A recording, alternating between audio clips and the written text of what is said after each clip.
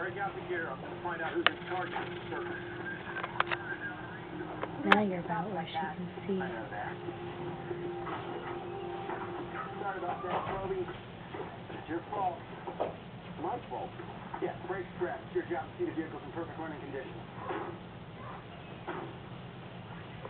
You should have called. I could have saved you guys a trip. Why don't we start with who the hell are you? Gunnery Sergeant DeLuca, Is this your idea of how to run a crime scene, Gunnery Sergeant? Nope. My idea of how to run an accidental death investigation. Special Agent Gibbs. Well, the civilian decided to trespass the wrong place at the wrong time. Marines didn't spot him till it was too late. What was the civilian doing down there? My guess? It was stabbing. A lot of metal iron's been dumped here over the years. Enough to risk blowing yourself up over it?